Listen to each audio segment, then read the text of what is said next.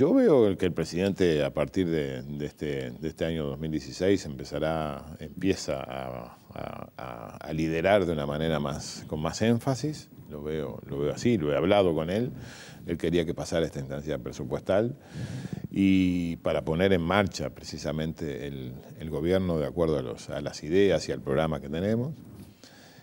Y 2016 va a ser un año diferente, ¿no? Este, si además podemos conseguir algunas de las cosas por las que estamos este, luchando y, y, bregando, bueno, mm, tanto mejor, va a ser mejor aún.